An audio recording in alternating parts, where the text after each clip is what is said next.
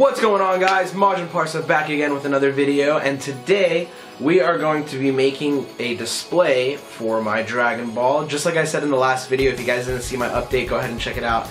Just lets you know what I'm going to be doing over the next couple of months and why I've been gone for a little while.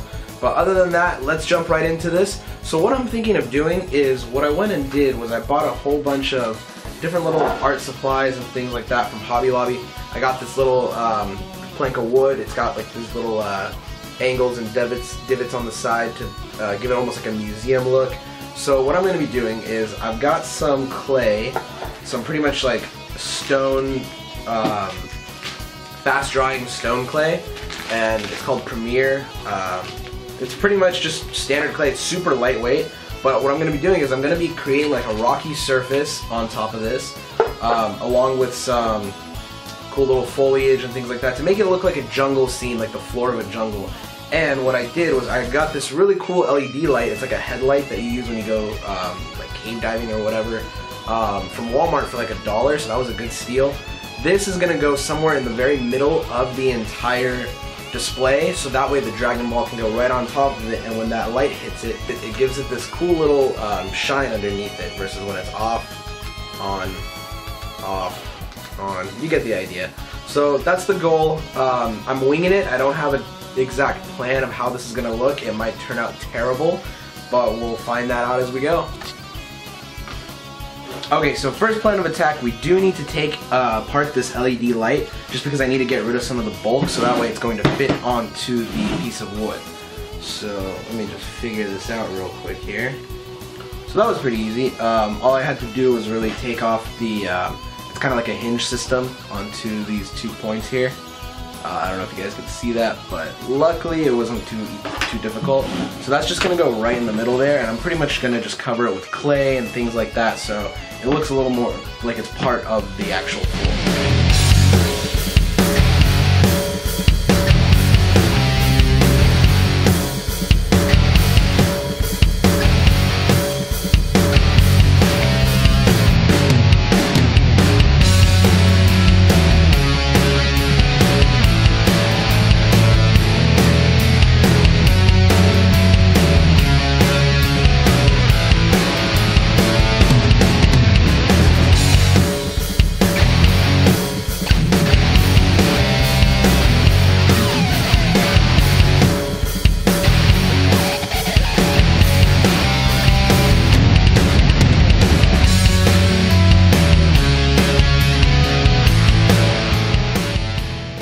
As you guys can see, I've made the surface really rough, give it some texture, just smoothing out some of those dents. It's all going to be filled in anyway later. Um, but the point is, I just want it to look really natural. I did make like a little bit of a, um, I don't know if you can see this little shape right here, just this little curve. That's going to make it look like there's sand built or dirt building up around this rock that I just made. So it's going to sit right there and it looks a little more natural, like it's been sunk into that dirt. Okay, so real quick, I did cover my Dragon Ball in um, like cling wrap. So that's the good thing about having this in plastic wrap. I can push it into the dirt and give it like its own little specific area to sit in without, you know, messing it up or completely getting the Dragon Ball all dirty or anything like that. I'm almost considering cutting a hole or drilling into the piece of wood right underneath where that is.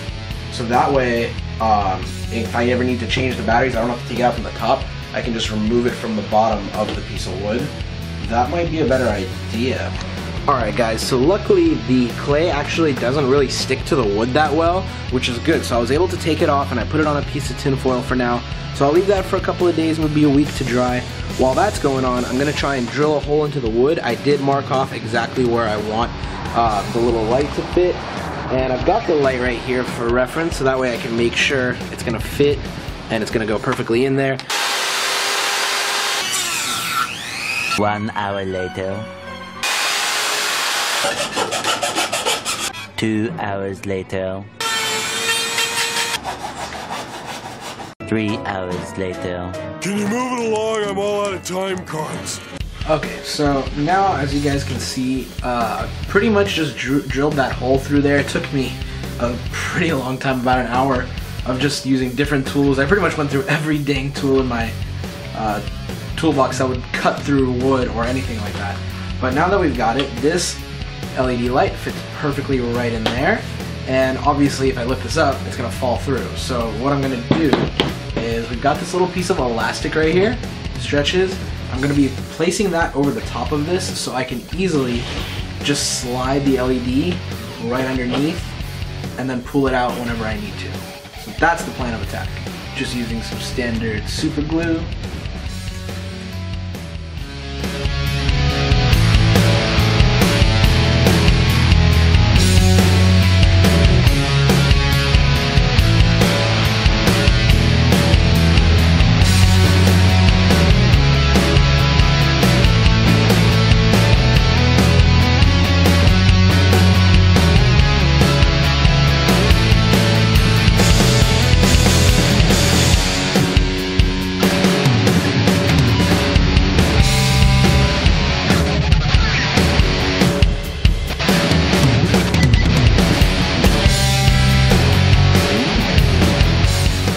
Okay guys, so with the power of editing, it has been about a week and I've let this dry. It has warped a little bit. Um, this side's curved up. Uh, it's got not really a flat surface, but it's no big deal. This stuff is pretty flexible. I just literally broke it right now. I think it's just gonna be about there. Now we'll just go ahead and do this first one.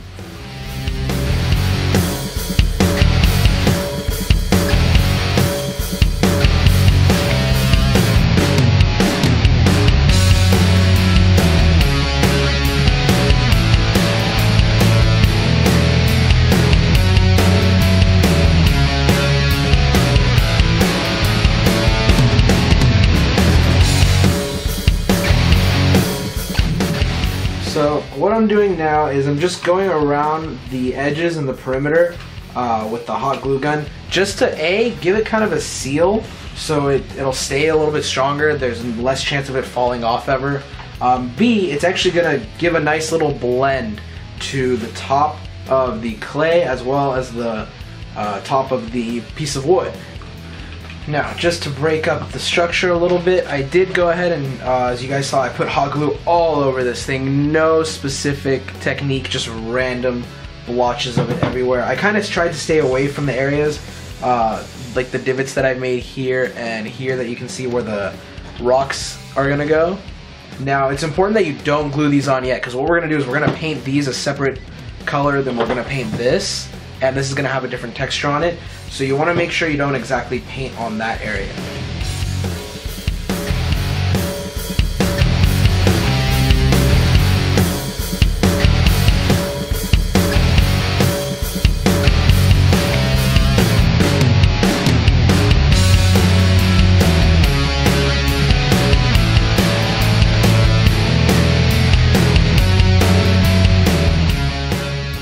Okay guys, so I've got all the couple of rocks that I've painted up. I kind of scraped them a little bit so it would give them a little more of a rustic, realistic type of feel to it.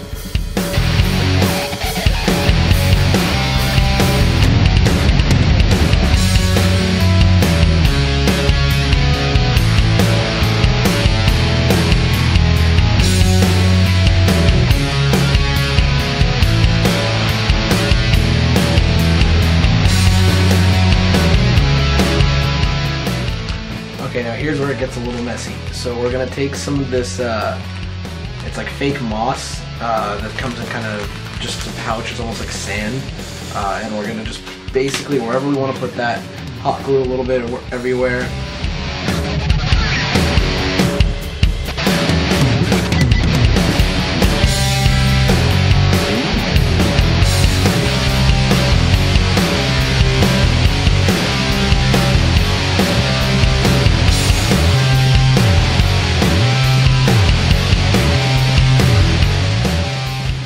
Look at that, my fingertips are all green from this stuff. Jeez. So yeah, be careful with it. It's gonna come off, obviously. All right, guys, we are on the home stretch here. All that's left to do is I'm gonna use a big uh, basic paintbrush and I'm just gonna clean away all the leftover foliage. You see how it's just scraping off the excess that's not actually glued down so that way it's not gonna fall off later.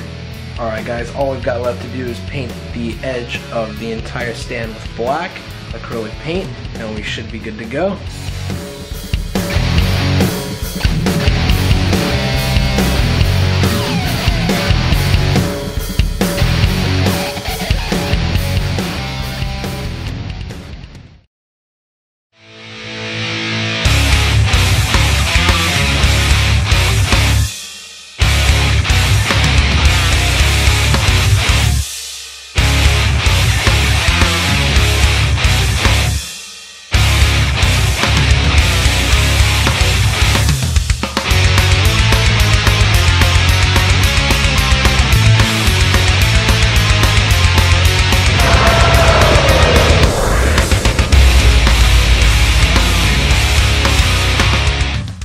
That wraps the video up, guys. Thank you so much for watching. I hope you guys had as much fun watching as I did making uh, the display.